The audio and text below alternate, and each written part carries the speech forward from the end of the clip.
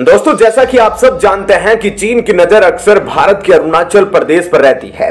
और वह आए दिन इससे जुड़े तरह तरह के बयान देकर इसे अपना ही इलाका बताता रहता है। और इस दौरान कोई और दूसरा देश भी आगे आकर भारत की मदद नहीं करता। लेकिन हाल ही में फ्रांस ने कुछ ऐसा कर दिखाया जिससे चीन को बहुत बड़ा झटका लगा। दोस्तों, आपको बता दें कि अरुणाचल प्रदेश मामले में अचानक से फ्रांस भारत के सपोर्ट में उतर आया है और उसने चीन को काफ़ी करारा जवाब दिया, जिसने चीन को हैरान कर दिया है। अब आपको इस खबर के बारे में थोड़ा और डिटेल में बताते हैं कि आखिर फ्रांस ने क्या कुछ किया और चीन को किस तरह से करारा जवाब दिया है। दोस्तों, भारत ने जब से फ्रांस के साथ राफेल की डील साइन की है और फ्रांस से 36 राफेल खरीदे हैं तब से फ्रांस के, भारत के साथ द्विपक्षीय संबंध और भी गहरे होते नज़र आ रहे हैं, जिसका नतीजा भी अब दिखने लगा है। और अब भारत के सपोर्ट में आकर फ्रांस ने चीन के खिलाफ एक ऐसा कड़ा कदम उठाया है। दरअसल, अरुणाचल प्रदेश हमारे भारत का एक खास हिस्सा है, जिस पर लंबे समय से चीन दावा करता आया है। भारत के काफ़ी मज़बूत विदेशी संबंध होने के बावजूद, दुनिया के बाकी देश इस मुद्दे से दूरी बनाए रखते हैं। कुछ वक्त पहले चीन ने अरुणाचल प्रदेश से 11 इलाकों को अपनी चीनी भाषा में नए नाम भी दिए थे।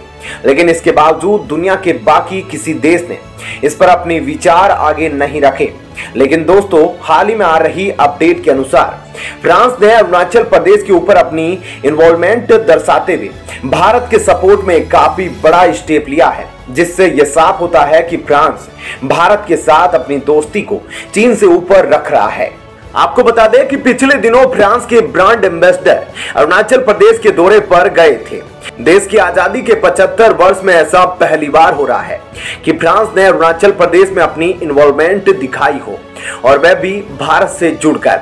भारत में मौजूद फ्रेंच एम्बेसडर इमेनुअल लेनिन अपने इस दौरे के चलते अरुणाचल प्रदेश के lieutenant governor K D Patnaik से मिले और लंबी बातचीत के चलते उन्होंने फ्रांस की तरफ़ से अरुणाचल प्रदेश की सरकार के साथ कॉरपोरेशन को बढ़ाने और संबंधों को मज़बूत करने की इच्छा व्यक्त की। लेकिन यह दौरा सिर्फ़ मीटिंग और ऑफिशियल टूर जैसा नहीं था, बल्कि इसके साथ साथ इमेनुअल लेनिन को अरुणाचल प्रदेश की संस्कृति, कल्चर और लैंग्वेज से भी लेफ्टिनेंट गवर्नर ने रूबरू करवाया। और यह दौरा पूरी तरह से दोनों देशों के बीच के हेल्दी रिलेशनशिप को दर्शाता है। जिसके बाद से ऐसा कहा जा रहा है कि आने वाले कुछ महीनों में फ्रांस की तरफ़ से अरुणाचल प्रदेश में कुछ बड़े लेवल के इन्वेस्टमेंट हो सकते हैं। दोस्तों, जब भी भारत का कोई भी मंत्री अरुणाचल प्रदेश का दौरा करता है या कोई ऑफिशियल प्रोग्राम कराया जाता है तो चीन को बहुत मिर्ची लगती है और इस पर चीन अक्सर अपनी नाराज़गी भी ज़ाहिर करता है। लेकिन फ्रांस की तरफ़ से अरुणाचल प्रदेश में भारत सरकार के कॉरपोरेशन के साथ इतना बड़ा दौरा हुआ और मीटिंग भी हुई और आगे इन्वेस्टमेंट भी होंगे। और इन सब चीज़ों को चाइना सिर्फ़ चुपचाप देखता रहा।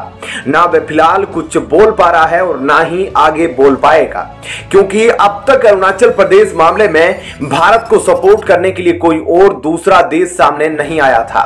लेकिन अब फ्रांस ने जिस तरह से आगे बढ़कर भारत को सपोर्ट किया है, उससे ना सिर्फ़ भारत और फ्रांस के संबंध मज़बूत होंगे, बल्कि चीन को करारा जवाब मिला है।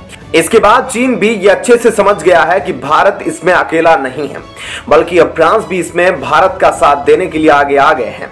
तो दोस्तों, ऐसे में इस खबर के बारे में आपकी क्या राय है, हमें कमेंट करके ज़रूर बताइएगा। और अब आपको बताते हैं, ऐसी ही एक और बड़ी खबर। दोस्तों, देखा जाए तो भारत और जर्मनी के बीच के रिश्ते काफ़ी ज़्यादा मज़बूत हैं, जिसके तहत कई जर्मन कंपनियाँ भारत के मार्केट में भी अच्छा खासा बिज़नेस कर रही है, जिसमें आप जर्मनी की ऑटोमोबाइल कंपनियों को साफ़ तौर पर देख सकते हैं। और साथ ही भारत और जर्मनी एक साथ अपने द्विपक्षीय संबंधों को मज़बूत करने के लिए भी लगातार कोशिशें कर रहे हैं। पर इसी बीच एक ऐसा मामला सामने आया, जिसने भारतीय लोगों को जर्मनी से काफ़ी ज़्यादा नाराज़ कर दिया। और जब ये बात भारतीय लोगों के साथ साथ जर्मनी में भी फैल गई, तब जर्मनी के एम्बेसडर को यह अंदाज़ा हुआ कि अगर समय रहते उन्होंने अपनी एक कंपनी की गलती नहीं सुधारी तो भारत के साथ उनके दशकों से जो मज़बूत संबंध बने हुए हैं, उसे एक बहुत बड़ा झटका लग सकता है। और इसी वजह से जर्मनी को भारत का मज़ाक उड़ाना इतना महँगा पड़ गया कि 48 घंटों के अंदर ही जर्मनी ने भारत से माफ़ी मांगना सही समझा। ऐसे में क्या है पूरी खबर? जर्मनी ने किस तरह से भारत का मज़ाक बनाया था और इसके लिए किस तरह उसने बाद में माफ़ी मांगी इन सब बातों के बारे में अब आपको थोड़ा डिटेल में इस वीडियो में बताते हैं। दरअसल दोस्तों, अचानक से एक जर्मन कार्टून कंपनी ने काफ़ी आपत्तिजनक और रेसिस्ट कार्टून बनाकर भारत की इंसल्ट की। दरअसल यह कार्टून जर्मनी की एक प्राइवेट मैगजीन पब्लिकेशन ने पब्लिश की थी, जिसमें उन्होंने भारत की बढ़ती आबादी का मज़ाक उड़ाते हुए एक तरफा एक ट्रेडिशनल लोकोमोटिव को दिखाया था, जो भारत की आबादी को रिप्रेजेंट कर रही थी। जबकि दूसरी तरफ़ चीन को महान और विकसित देश दिखाने के लिए एक बुलेट ट्रेन दर्शाई, जो चीन की आबादी को रिप्रेजेंट कर रहा था।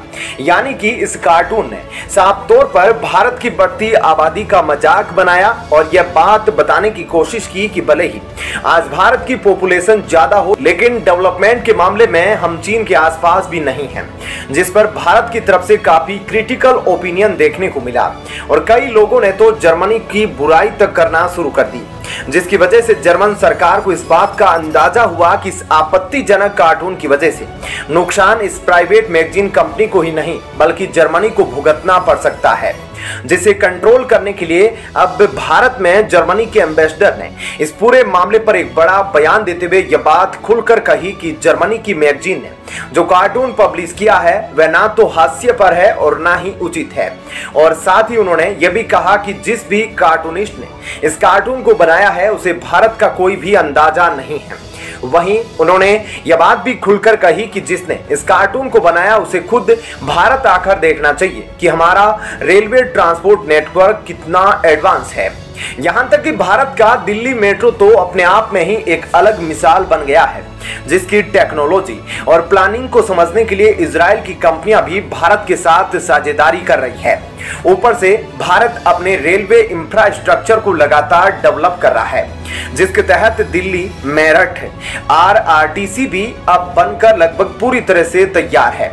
इसकी रिलीज़ इमेज और फुटेज अपने आप में काफ़ी चौंकाने वाली है। इतना ही नहीं, बल्कि सरकारी डाटा के अनुसार साल 2025 तक भारत का टोटल रेलवे नेटवर्क 100 परसेंट विद्युतीकरण के साथ एक दशमलव दो लाख किलोमीटर तक फैल जाएगा, जो एक काफ़ी बड़ी उपलब्धि होगी। लेकिन भारत के खिलाफ प्रोपोगेंडा और नफरत फैलाने वाले लोगों को हमारा यह विकास नहीं दिखेगा, जिसकी वजह से भारत के साथ अपने द्विपक्षीय संबंधों को बचाने के लिए खुद जर्मन एम्बेसडर ने बीच में कूदना सही समझा, जिसे हम काफ़ी अच्छा और सेंसिबल कदम मान सकते हैं। और जर्मनी के इस कदम से भारत और जर्मनी के बीच जो इस गलती की वजह से खटास आ सकती थी, उसे जर्मनी के इस कदम ने ठीक कर दिया। तो दोस्तों, ऐसे में इस खबर के बारे में आपकी क्या राय है, हमें कमेंट करके ज़रूर बताएँ। और